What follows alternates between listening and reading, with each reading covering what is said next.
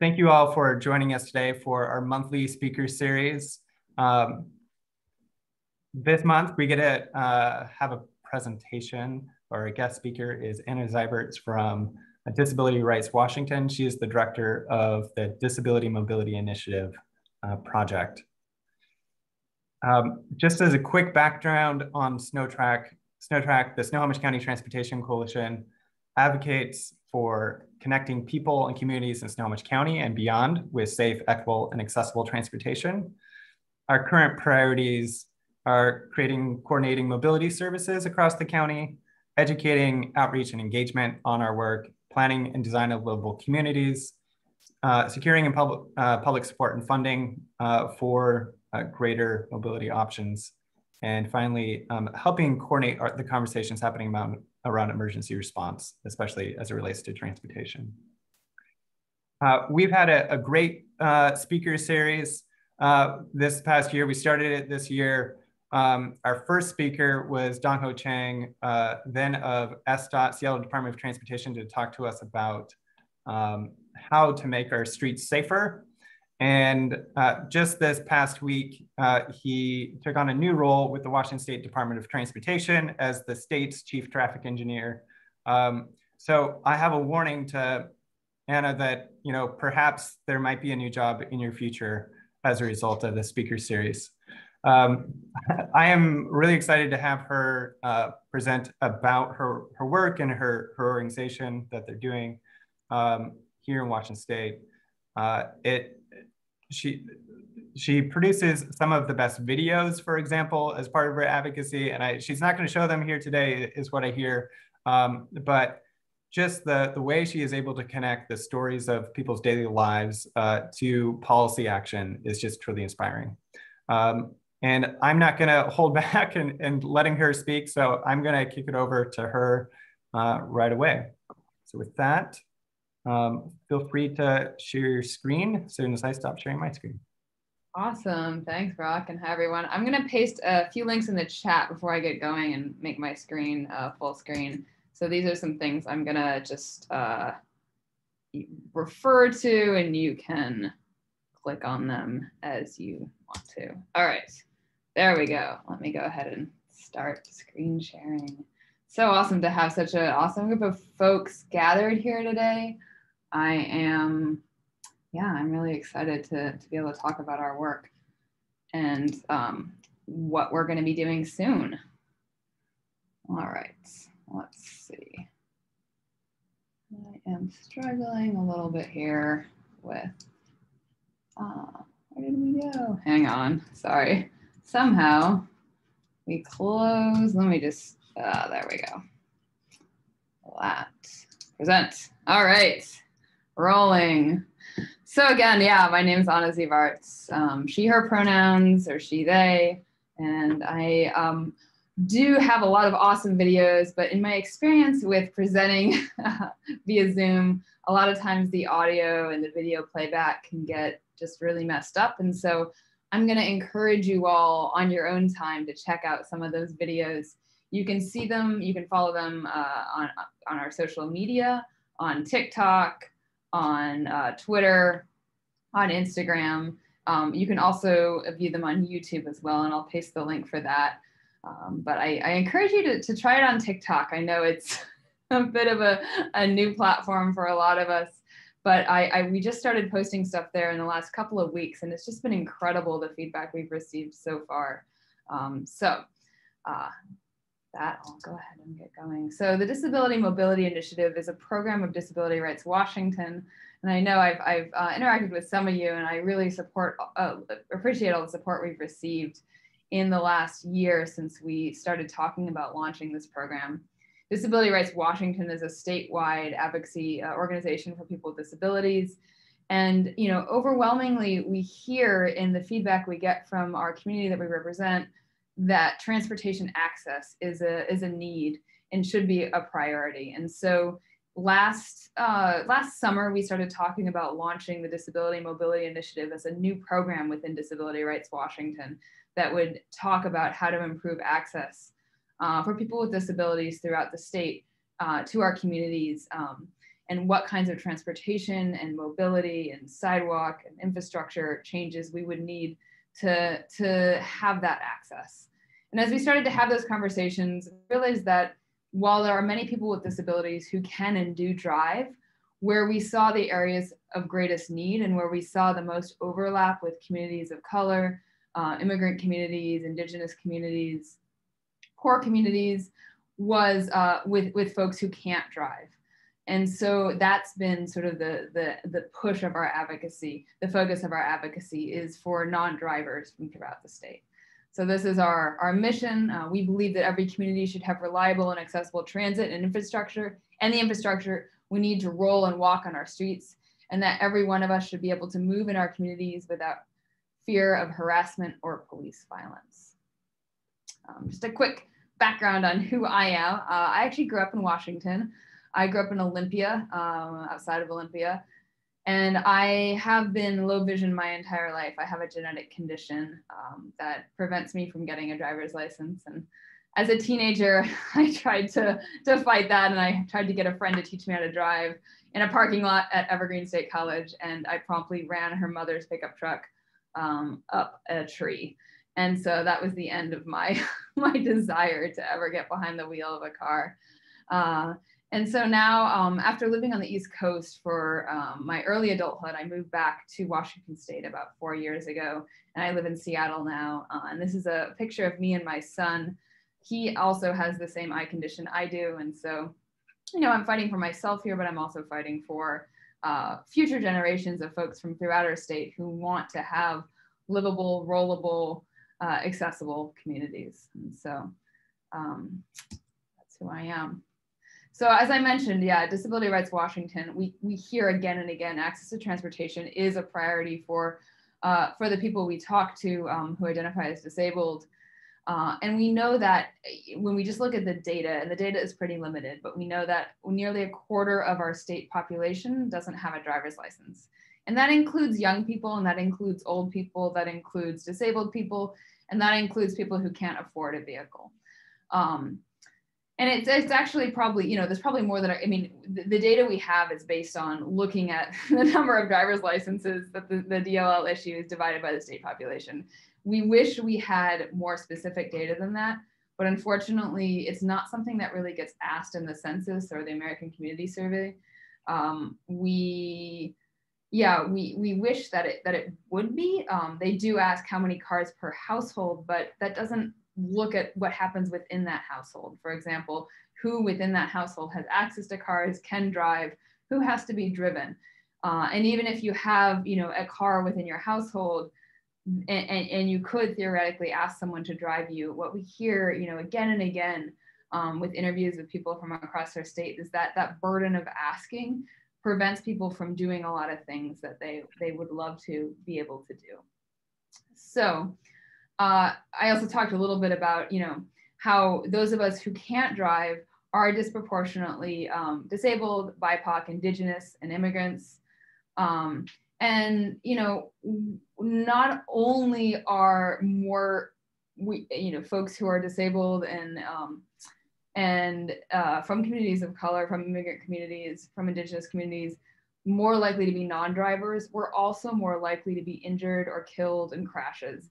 And that's um, both because the, the, infrastructure in our communities um, doesn't meet our needs. For example, there's not safe crossings, there's not accessible curb ramps, um, there's not, you know, crossings that are next to the bus stop. And, you know, so we end up having to cross in unsafe ways.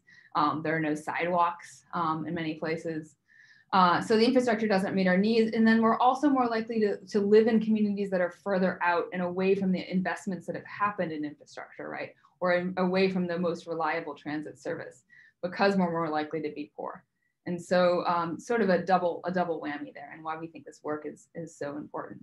And so um, at Disability Rights Washington uh, Disability Mobility Initiative, uh, our model of change is really an organizing model of change. We believe in, in bringing people together in, uh, in collecting the stories of people who, who can't drive throughout our state, amplifying those stories, connecting us to each other, and then using those stories and, uh, and, and, motivating people to become advocates for themselves uh, in the world that, that we hope that we can create that's accessible to all of us. Oh no, my battery and my light is dying here, so hopefully it, it hangs on. Uh, so um, the big project that we started last fall was our Disability Mobility Transportation Access uh, story map. And this is just a screenshot of the story map. You can see it at mobilizewa.org. Uh, we have interviewed so far over 125 Washingtonians who can't or don't drive. Um, and um, this is an example of, of what that looks like. Um, there's the, the, the story map's available in a couple of different formats.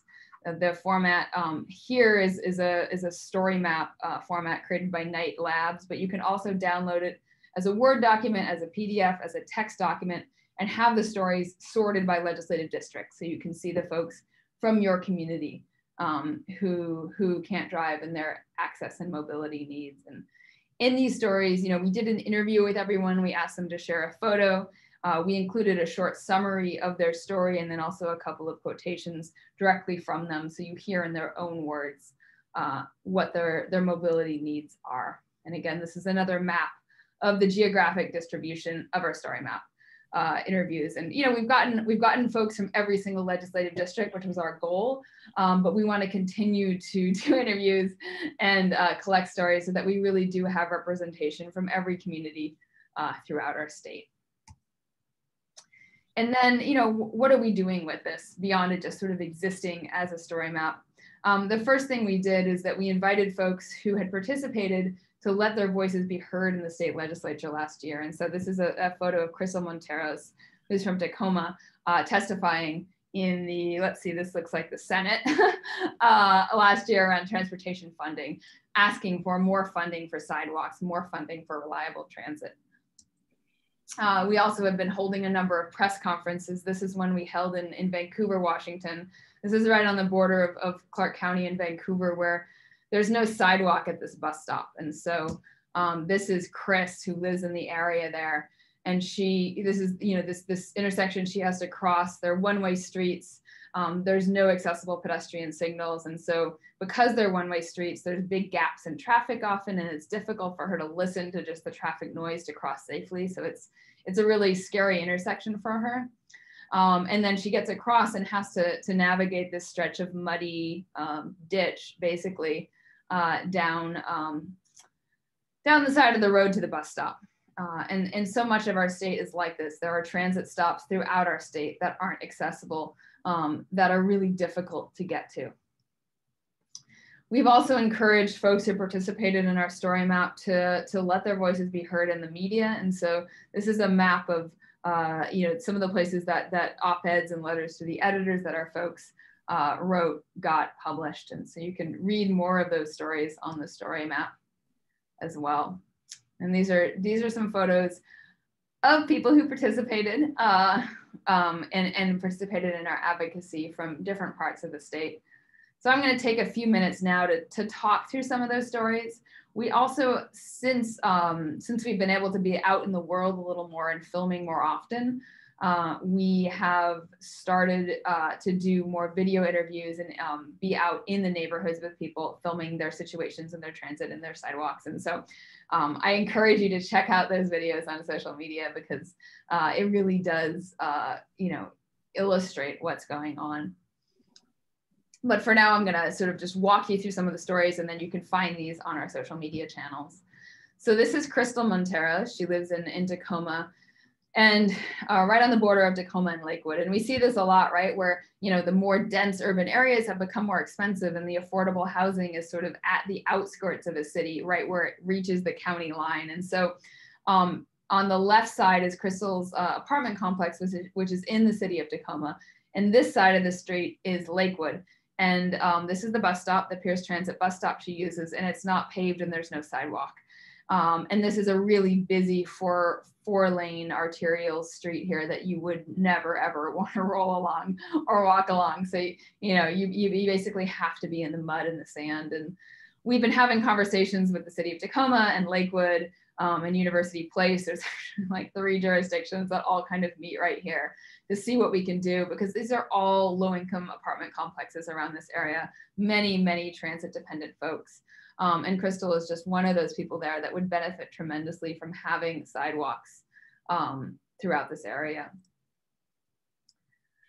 This is Cody, uh, Cody Shane.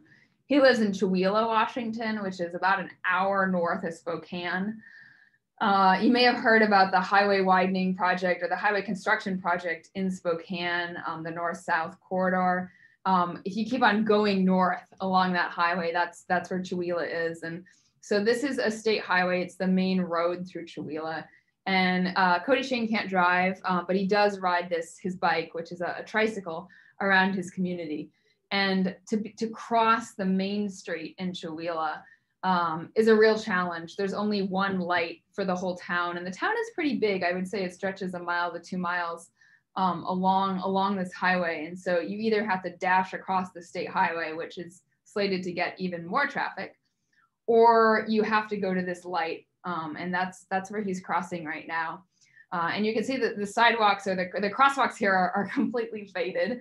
Um, after we shared some of these photos, WSDOT the next week got out there and painted them. So that was exciting.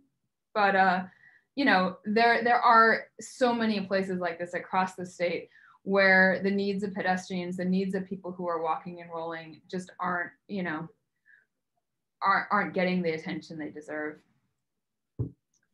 This is Tanisha. Um, Tanisha lives in West Seattle.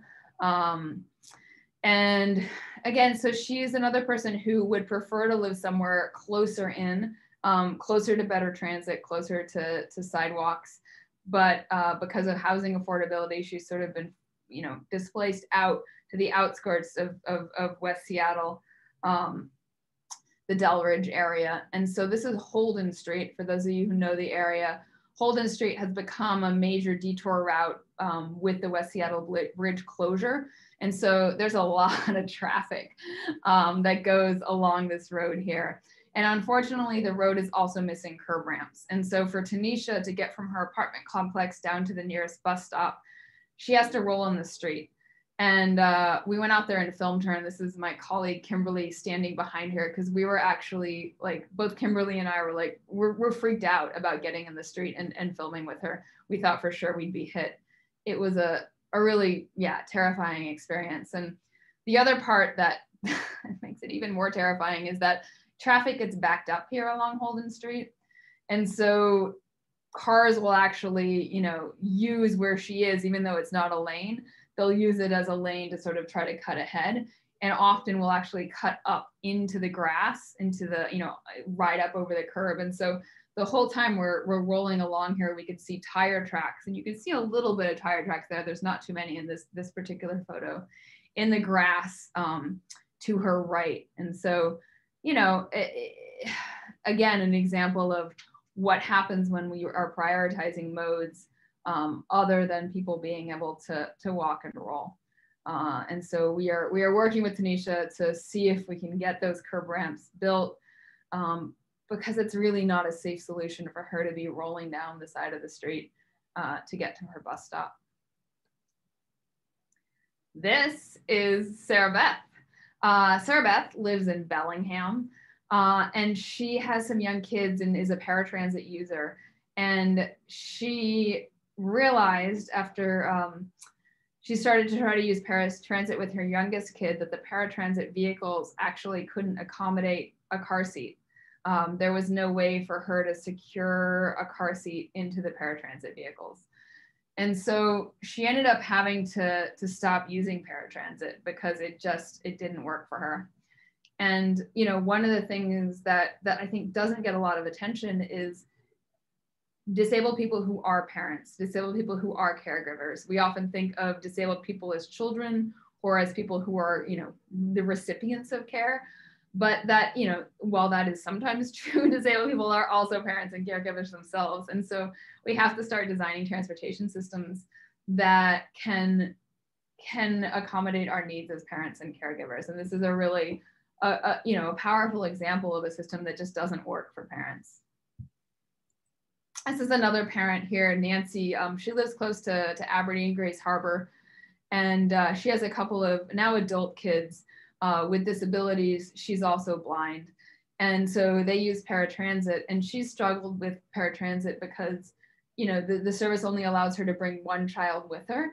And so sometimes she would have a child that she couldn't leave um, at home, whether that's an adult child or a young child. And so um, she would struggle with that because she wouldn't have care for the child unless she brought them with her, but the paratransit would only allow her to bring one child. And so just an example of another rule that makes it difficult for parents and caregivers to access, uh, access transportation. Nancy also had some really wonderful things to share about how she lives in an area that's, you know, on the outskirts of Aberdeen and Grays Harbor. And as funding for paratransit and transit kept on getting cut and cut, she actually used to use fixed route transit, um, but the schedules for that got cut and cut, and finally it got cut entirely. And so she switched to using paratransit. And now the the the the, the area that transit serves in her county has also shrunk. And so she isn't, she's just barely on the border of what is um, considered an area that can be served by paratransit. And they kind of had to be like, well, as the crow flies, it's two miles. And so, you know, from the nearest transit stop. And so they kept her in, in the system, but she's really concerned that future cuts, um, any further cuts to, to transit service in that area would mean that she would be outside of that service um, and would lose all access to mobility. And I was I was just talking to her yesterday because I'm going to go out and try to film her next week. But you know, she's like, before I used to rely a lot on friends and family, and that's great. But she's 80 now, and a lot of her friends are also in their 70s and 80s, and she's like, they're not able to drive anymore. Or if they do drive, she's afraid to ride with them because they probably shouldn't be driving. And so, you know, we have the situation where there's a lot of folks who are living in more rural areas who are aging out of driving, right? And how how do we create a transit system that's going to work for them? On the other edge of the spectrum of the age, other other end of the age spectrum, um, we have Lily here, who lives in Federal Way, and this story, this story, I think, just for me is is is the one that. Uh, epitomizes what is wrong with our system. So Lily lives in King County, um, but she lives and she lives on the, the dot there. There's a little little arrow. Um, she lives really close to Tacoma, and so she, you know, all her friends are in Tacoma. All, her doctor's appointments, all everything she needs to do is in Tacoma. But because she's in King County, um, to get to Tacoma using paratransit, she has to request paratransit uh, you know, two days in advance instead of just 24 hours because she's cross county. And so that makes it really, really challenging for her to get out and do the things she wants to do. And she would love to use fixed route transit, but there's no sidewalk uh, on the street she lives on. And so she can't get safely from her house to the nearest bus stop. And so she's stuck using the system that really doesn't work for her. And, you know, I think as a young person, it, it, it, it just I don't know, it got, it got me that she's not able to go hang out with her friends. She's not able to engage in, in the social activities she wants to engage in because of this lack of sidewalk in a system that just doesn't work. And she described for me how that has really been difficult for her mental health um, because she's also someone who became disabled. And so, you know, that that change in her mobility has been, um, and then the loss of social activity has really been difficult. And I, you know, it just it, it doesn't have to be that way. Like why can't why can't we just build that sidewalk? And I know it's expensive, but it's you know it's about priorities and what what our state values. This is a photo. I, I went out to Bremerton to film uh, JR and Kat. Um, they live in Bremerton, and we went to visit a friend of theirs who's also blind and a non-driver. And after we um, caught the bus to our house, we were waiting for the bus on the way back, and uh, we had to wait in this road. Um, you can see it's a two lane road. Um, there's a bus stop here, but there's no sidewalk and it's just, it's loose gravel. And uh, Kat's in a, in a wheelchair. And so she can't go into that loose gravel. Um, she gets stuck. And so we, we sat on this road and the bus runs every hour. So we, you know, we timed it. so we didn't have to sit in the middle of the road too long. Um, we sat on the road and the bus driver showed up and uh, he pulled up in front of us and tried to put his ramp into the gravel. And Kat's like, I can't get in there. I, I can't, I'll get stuck.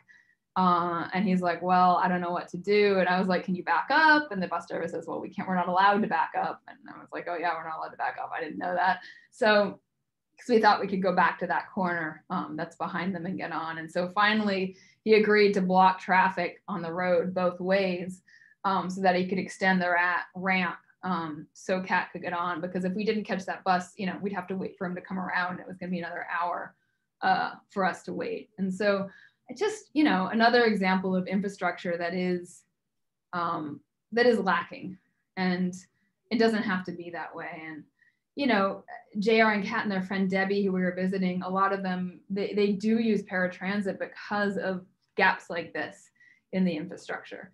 And, you know, Debbie, who we were visiting, describes how there used to be a bus stop closer to her house, which was awesome. Now there's not, now that she has to use paratransit, she can't just get out and, you know, go get milk when she's out of milk or bread when she's out of bread. And uh, she really has to think and plan and, you know, all that spontaneity she had. Um, is gone. All right, I'm, um, this is uh, this is Mitchell here. Uh, Mitchell lives in Lacey, uh, and he, you know, he's a wheelchair user, and he talked to me so much about sidewalks. Um, the sidewalks around Lacey are are narrow and old. A lot of the curb ramps are angled out into the streets. And so when he's navigating, he'll have to sort of turn out into what is, you know, 40 to 50 mile an hour traffic on some of these arterials um, to get, you know, through it through an intersection. Um, and, and it was terrifying. I again, it was one of those moments when I was filming with him. I was like, wow, this is. I really hope no one gets hurt while we're filming this. Um, he also a lot of the, the the roads in Lacey, the sidewalks are there's no um, there's no planting strip and so the sidewalk is right adjacent to the road and there's no shoulder and so the cars are right next to you um, going you know 40 or 50 miles an hour and so for for mitchell that's the having these big cracks and bumps is super scary because if his chair were to tilt or lean um, or you know end up anywhere near that traffic he'd get hit um, and that's that's a big risk as these, you know, there's all these big cracks and heaves and um, and that's frustrating. I think for him, he's lived other places in the country. He's lived down in California and he, you know, comparatively, he thinks the sidewalks here in Washington are, are much worse. And that's, that's a real struggle.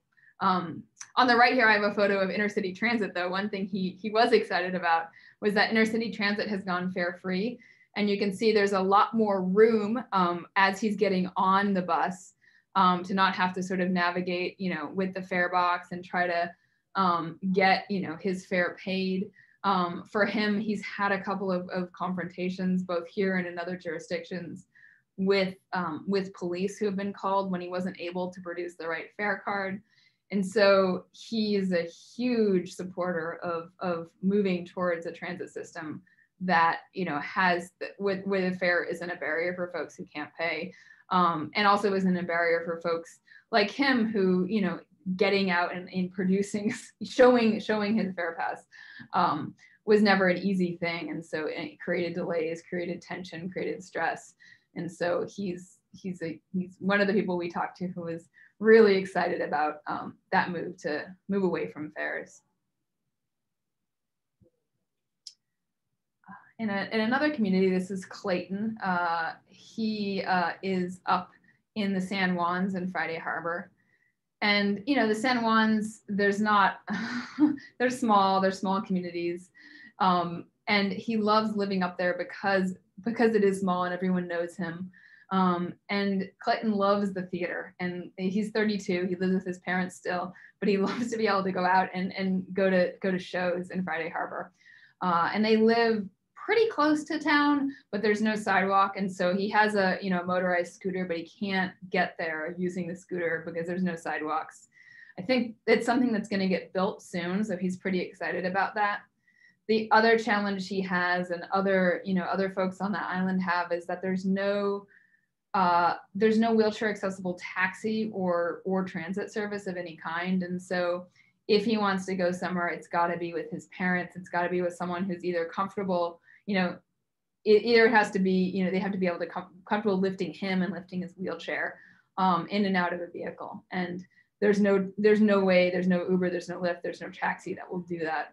and so he he's completely dependent on friends and family to provide that for him and that um, that's hard for him he he feels like he gives up a lot because he's not willing to ask his his parents to wake up you know after they've gone to sleep to come pick him up at 11 o'clock at night when the theater show's over um, or even just getting to and from work um, it's a struggle to always be asking rides and so uh, he's he and a bunch of other there's a there's a group of young adults who are wheelchair users um, who live in Friday Harbor who are all pushing really hard to get the senior center um, and, and whatever other funding they can get to get a wheelchair accessible van or shuttle of some kind that can be used to provide transportation um, for them.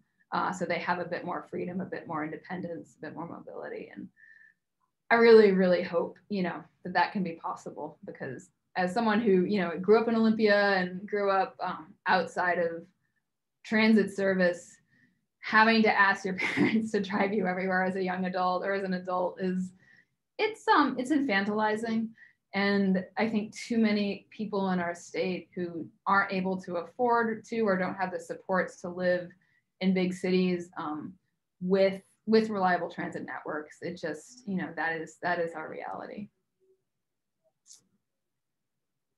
This is Jamin. Uh, he lives in Port Orchard, Washington, and he is a he's a paratransit user primarily, um, though he also uses fixed route transit, um, and you know likes to get around on his his scooter.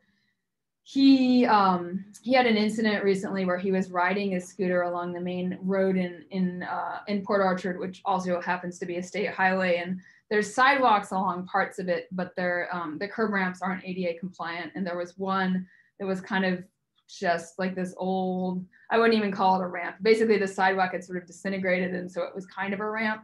And he was going down it, and he flipped out into the state road um, right as a bus was coming, and uh, nearly got hit. And so he is he's a big advocate for fixing that sidewalk, fixing the curb ramps, getting those ramps built so that you know people can get to the bus stops, can get where they need to go um, without getting stuck and without getting stuck in these really dangerous situations. So uh, that's the end of the, the stories I'm going to share with you, but I do encourage you. A lot of these have become videos. They're on our social media. Um, you can go there and check them out. We, uh, the next steps is we're, you know, continuing to build our story map. We have a bunch of interns working with us this summer to interview additional folks, and we're going to continue to add stories and, and connect with more people we also realize that there's a lot of knowledge and a lot of expertise that's been um, you know shared with us and and we felt like well here's a wonderful opportunity to sort of institutionalize that more by turning what we have into a white paper and so my colleague kimberly has been working on that for the last couple of months and we're, we're getting ready to release it which is very exciting next wednesday um, and you're welcome to join us we have our press conference release party um, on zoom next Wednesday at 10 a.m. And one of those links I shared was, was that. Uh, and so what we did is we took all these interviews and we sort of read through them and pulled out common themes and organized them into sections and um, made then a bunch of recommendations and recommendations that go to elected leaders, that go to transit agencies, that go to transportation um, providers, uh, transportation departments, um, other other transit providers. And so um, this here on the screen right now is a list of the different categories. We have sidewalks, curb cuts, curb cuts and intersections, transit frequency connections and schedules, transit wayfinding equipment and shelters, specialized transportation services, hail services and taxis, uh, transit driver training, fare enforcement, the needs of parents and caregivers, leveraging technology, crisis response and resilience, a tough trade-off, housing affordability and transportation access, access to employment, independence, community, and well-being, deterred demand and inclusive transportation planning. So a lot of different uh, thoughts, a lot of different recommendations, a lot of analysis, and we're really excited to have this out there in the world. I think we see a lot of uh, transportation research about people with disabilities that doesn't actually include people with disabilities uh, in that research. You know, it's, it's, interviews with transit providers, it's interviews um, uh, with planners. And, and so we're really excited to start to bring the, the voices of people with disabilities directly into that planning uh, conversation. So please join us next, next Wednesday. Uh, we'd love to have you. Um, yeah, learn more about what we've learned um, from our research so far. And if you're not able to join us next Wednesday and you'd like to get a copy of the white paper, you can um, always email me. I will put my email in the chat, but you can also sign up to our email list. Um, if you go to Mobilize WA, and then there's a, a link to sign up to our to the email list for, for the Disability Mobility Initiative. So uh, that's a good way to sort of follow our work if you're not uh, all up on, TikTok and the other social media channels. The other thing we're going to be launching uh, next week um, with our, our um, white paper is a week without driving challenge. uh, and I'm excited about this. I think it'll be, it'll be interesting. So uh, we are inviting elected leaders um, and other, other uh, leaders of transportation departments and transit agencies to pledge to try to spend a week without driving themselves. Um, we're gonna say October 1st through 8th um, are the, the official dates, but if folks need to do it another week, you know, we're flexible.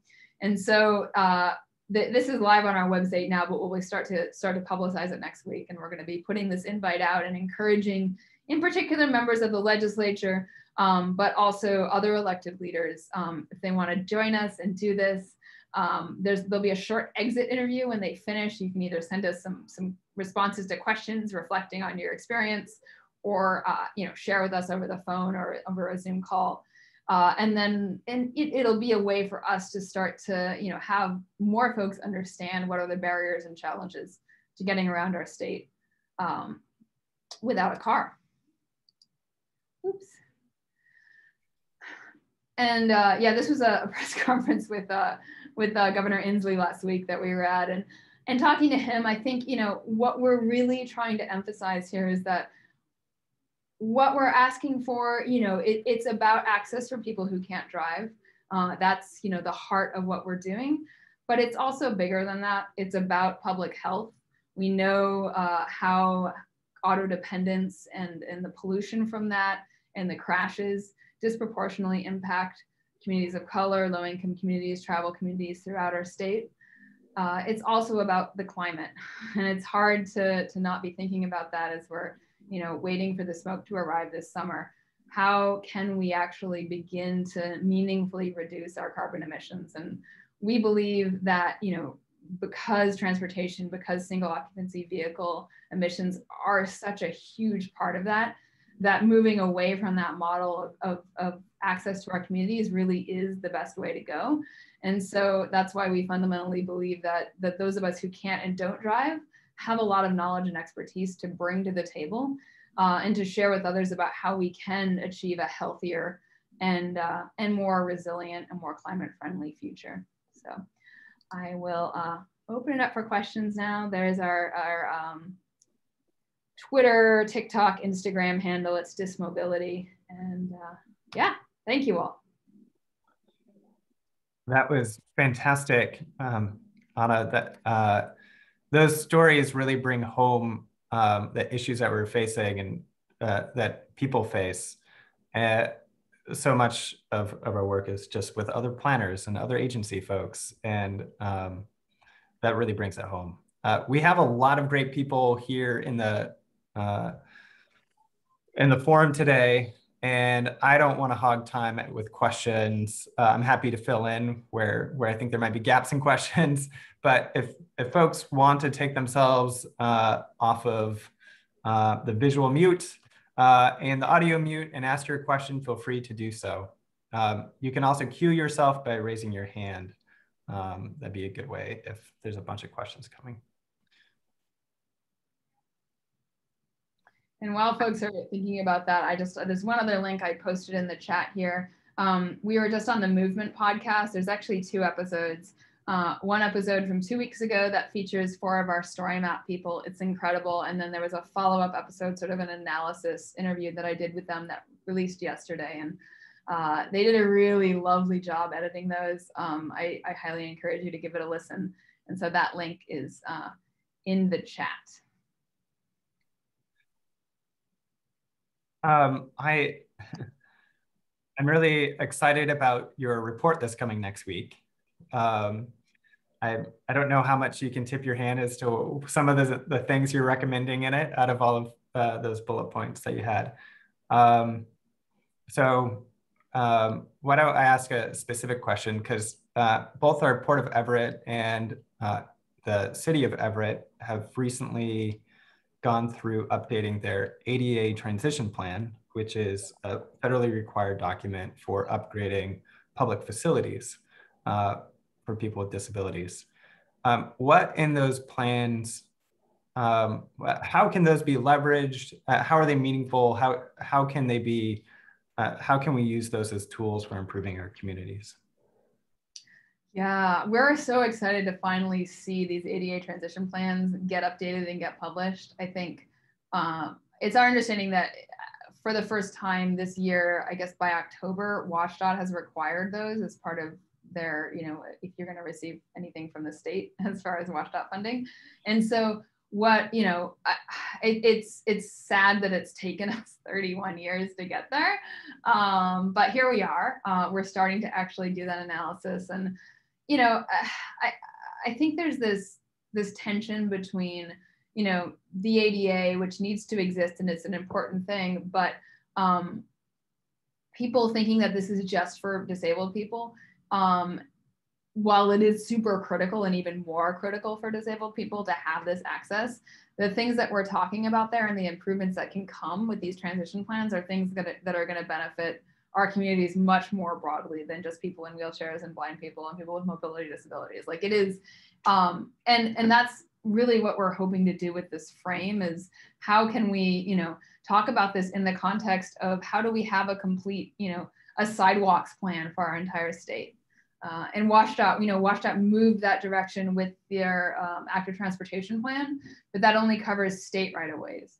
And we would love to see something, an analysis at the state level of, okay, let's take all these ADA, ADA transition plans that are getting submitted now to the state for the first time, compile them, um, and look at what's missing and, and create a statewide map of where do we have sidewalks and what is the infrastructure there like is it ada compliant what are the crossings like um, we just don't have that. And we should. I mean it's it's kind of absurd that we don't. And so that's something that we're asking for um, if there is going to be a, a, transportation package a special uh, special session this year. We would really like to see, I mean, not only the active transportation plan uh, funded, but also the beginning of taking all these ADA transition plans from different jurisdictions and putting them together to, to create a state uh, ADA transition plan, but that also looks at, okay, where do we not even have sidewalks, right? Like that's also important too. So yeah. Great. I see Christina has her hand up and she was responsible for the city of Everett's ADA transition plan. So awesome. Excited. So Christina, feel free to ask your question. So uh, I was hoping you could maybe give us some feedback, some guidance on what's the most important to you in prioritizing uh, the elements of our ADA. Like with you know certain amount of resources, like we have to prioritize things. And so if you have thoughts on that, I'd appreciate it. Yeah, God. I mean, it's so hard, right? Because it's it's the connectivity that matters, right? And so without with one any piece missing, you lose the network. Um, yeah, and so it's hard to say, okay, yeah, like this matters and this doesn't. I mean, what we really need is just more funding, and that's the our other part of the ask to the legislature is, okay, we need this statewide analysis, and then we need to start putting money into a bucket that is specifically going to address this 30 year backlog. I mean, it's longer than that, but we've known about the need to do this for 30 years and we just haven't been funding it. Um, so I don't know. I mean, you know, it's hard to say to you what what should you not fund, right? But I think, you know, thinking about networks and connectivity and if, you know, it doesn't really do a lot of good to have something if it doesn't connect to something else. Um, and so thinking about how to maximize that that connectivity um, and I would say, you know, thinking about transit stops, thinking about community centers, thinking about grocery stores, thinking about schools, like where do people need to go? Um, and, and, you know, and where are the people who are most likely to be transit dependent um, living in your community? Um, what are those neighborhoods? Um, and, and probably they're the neighborhoods that are the most affordable um, and, and probably the neighborhoods that have been historically redlined or, you know, least invested in. Thank you. That, that's super helpful. I, I really appreciate it. So thank you. Yeah.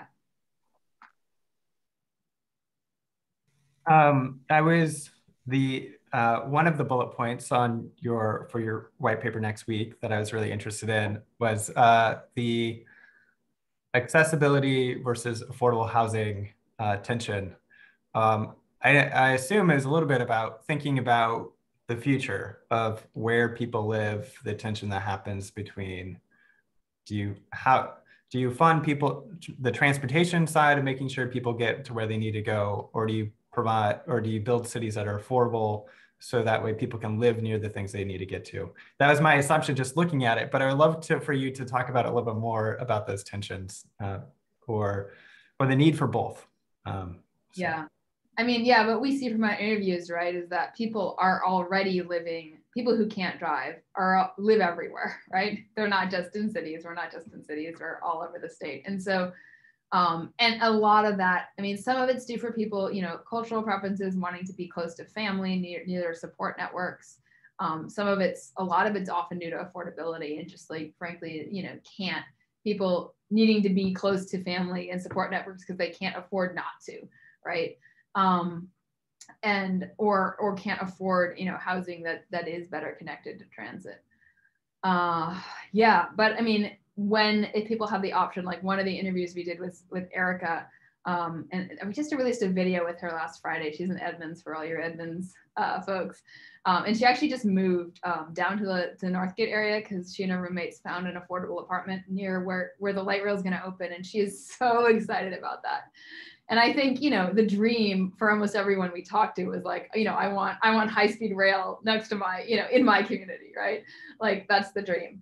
Um, we know that you know that that isn't you know probably going to happen soon.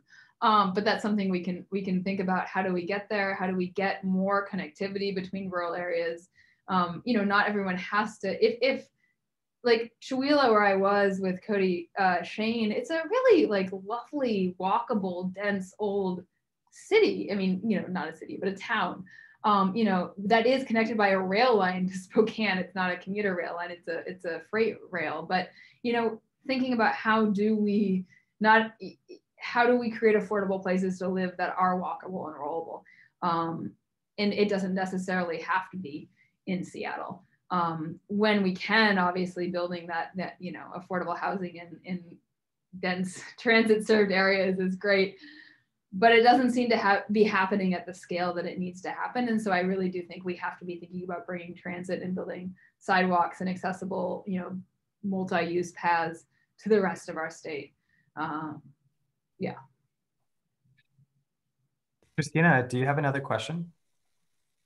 Yeah. Yes, I, I have multiple questions. Um, I actually hope, uh, Anna, that you can maybe address, provide tips on ways that as, as public agencies we can better outreach and improve our communications with people who are invested in ADA improvements, who are advocates. Um, that was one thing that we really worked on, but I know we can improve. So, thoughts, tips? Thank you.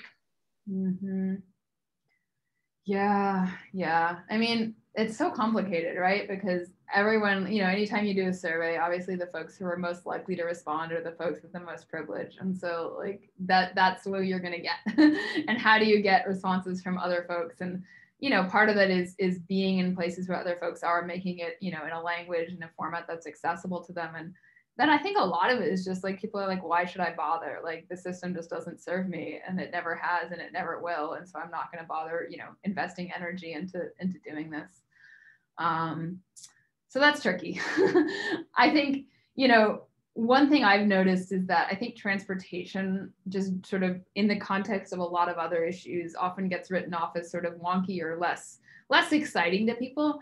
Uh, but I think if you talk to people who don't have access to cars or driving, it's something that we think about a lot. Like every day we're sitting on the side of the street waiting at, you know, at a bus stop or walking down where there isn't a sidewalk. Like it's something that that there is a lot of energy that in our brain that gets spent thinking about how things could be better.